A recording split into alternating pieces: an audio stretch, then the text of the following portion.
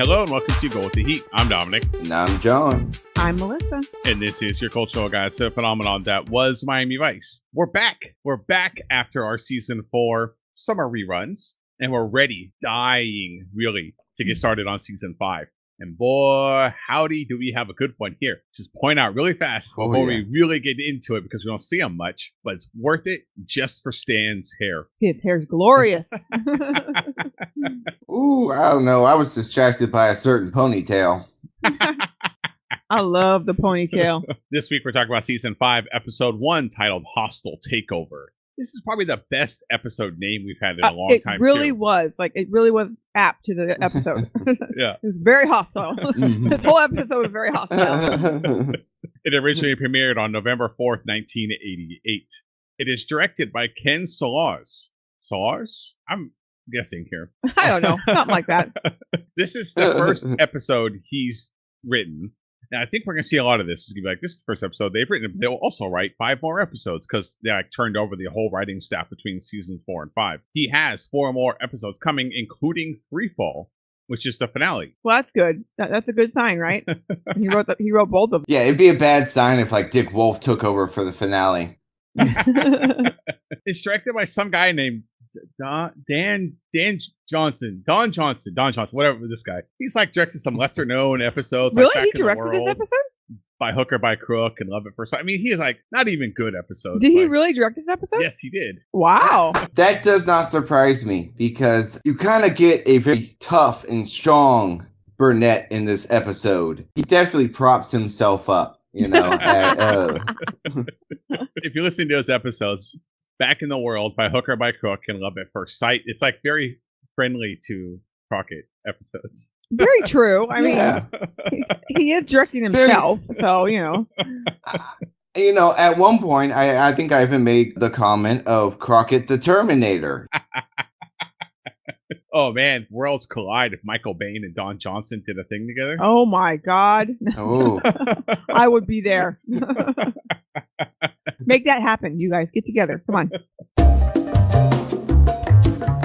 All right, John, we're back. Season five. We have new showrunner. We have new writers. I wonder. I have no idea what to expect with music this season. What do you got for us? Okay, so we we are gonna start off with someone that we've already talked about once before. We're gonna talk about Under the Radar by Underworld. You might remember them from previous Vice episode segment when they did the song Glory Glory in the episode Badge of Dishonor. Uh, a little reminder, the principal members were Karl Hyde and Rick Smith. They also partnered with uh, DJ Darren Emerson from 91 to 99. Also toured with a Darren Price as a tour member in 05 and 016. But mostly they are known because of the titles, uh, the biggest song off of their second album, their second album named Second Toughest Infants, by the way.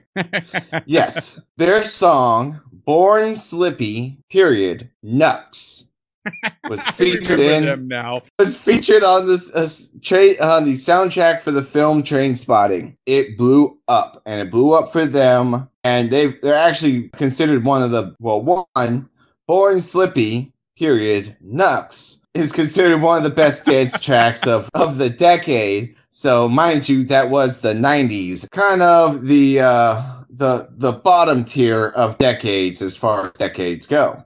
You know, nostalgia is high right now, and everything is nostalgia based. And I will just say, just warn people: like the '80s has been popular, and the '80s coming back has been a thing, and now everyone's starting to hype up the '90s. Like we don't want to go back to that time. That was a silly time. No, There's no reason to go back to the No, 90s. the, the 90s was terrible. The, 90s started with Vanilla Ice and MC Hammer. We went from there. Okay? We don't need to revisit that. We already talked about Underworld once. Few things I might have left out the first time. In the disco scene in the movie Vanilla Sky, they featured Underworld's 93 hit Rez. Also made the soundtrack for Danny Boyle's 2006 film Sunshine. And actually, I watched that Hmm. recently. That's a really good sci-fi flick. Something- Something else unique. Let's see. Uh, in 2007, at the Ejekt Festival in Athens, Greece, approximately 30 masked Greek anarchists stormed the stadium and Rick Smith was amongst those injured during the ensuing violence, and it actually Damn. forced them to to cancel their remaining shows. Now, I find this interesting because the the the anarchists stormed the stadium during the Beastie Boys set. And I'm just wondering, was that what set them off? Why uh why are anarchists storming a Beastie Boys concert? It seems odd. The last thing I will throw out there too is that Born Slippy, period, Nux, two X's, came in at number 65 in the 2009 poll put out there by Triple J on Triple J's hottest 100 of all time. If you want to know who Triple J is, well, the people who voted in the poll, the Australian public. So Australia loves you, baby. So thinking speaking of popular in Australia, let's talk about our second artist, second artist, Toni Childs with the song Walk and Talk Like Angels. Toni Childs began in music in 1979 by filling in for singer Terri Nun- uh, Nunn during se- several live shows with the band Berlin. She would go from there and her next notable band she would join would be Toni and the Movers. Toni and the Movers toured for two years but never released an album. But the band was made up with a couple pretty big name members. They had Jack Sherman, who would later go on to join the Red Hot Chili Peppers, and Micki Steele, who would become a member of the Bangles. Hmm. She would leave that band and perform a little bit in around LA under the name Nadia Kopich. Uh, Kopich. After a while, uh, she would approach Island Music and basically told them, "Hey, sign me." They did sign her in a way. They financed her move to London, where she lived in an empty office and uh, in a recording studio. She would clean the office, sweeping the floors and uh, dusting and stuff as rent, so that she could basically learn the music industry. She never didn't record anything of her own there, but she recorded it with backup vocals and stuff for other musicians. So in 1985, she returned to LA and signed with A&M Records, and she began working with David Ricketts. David Ricketts was one of the members of David plus David, the other David being David Baerwald. So I was not very familiar with David plus David, but I will say this. David Ricketts helps really helps launch Toni Child's career. Hmm. But he is the least he is the lesser successful David of David and David because Yeah. David Baerwald would go on to help launch Sheryl Crow's career. So uh gonna weigh it out here and say Sheryl Crow's the winner. but back to Toni. The first thing she would do with David Ricketts at A- at A and M is the soundtrack for the film Echo Park. She would then provide backup vocals for David on David's David and David. David plus David, or David and David's album, Boomtown, which I believe was their only album by the Davids. So, but Boomtown actually did fantastic in Australia. And I bring that up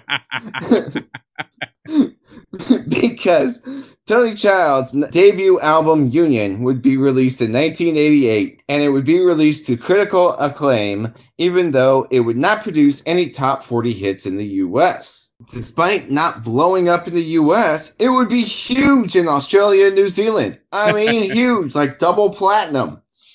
Uh, her follow up to Union was House of Hope, and even with the title track being featured in the movie Thelma and Louise, it did not sell well, guys.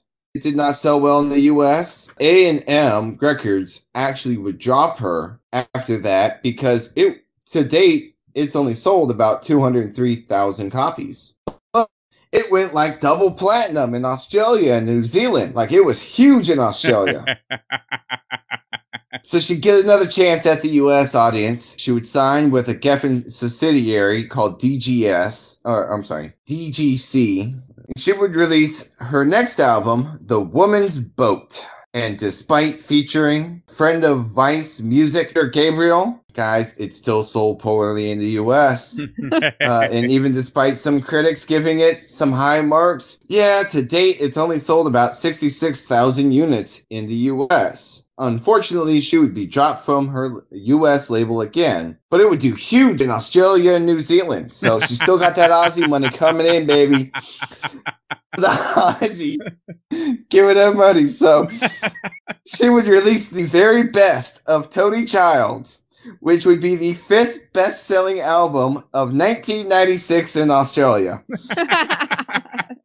just killing it, just killing it, you know. And it made me think about. I don't really re- know what they. I cannot for the life of me place what they call money in Australia. So it's just dollars. is it dollars? I, I Yeah. know it's got to be something ridiculous. It, it's it's got to be like. Like I, I like it's got to be like like here's five Dundees and a Wambutu, you know. Couple wallabies. I mean, come Yeah, couple wallabies. Like it, it's got to have a ridiculous name. So she's rolling in the wallabies right now. It's got more D's and wallabaloos than you would ever believe. Unfortunately, she would retire from music in 1997. She actually she was diagnosed with Graves' disease, which is a form of hyperthyroidism.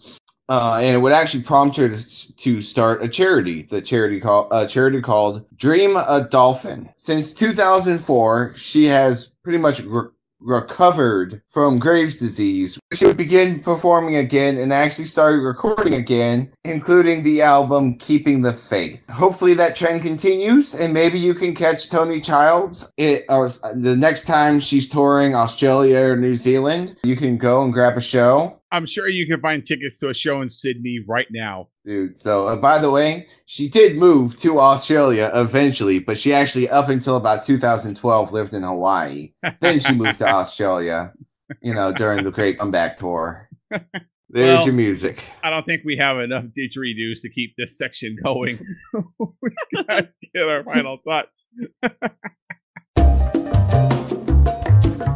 and that's going to do it for us this week on Go with the Heat. We hope you enjoyed this podcast. We would love, love, love to hear from you.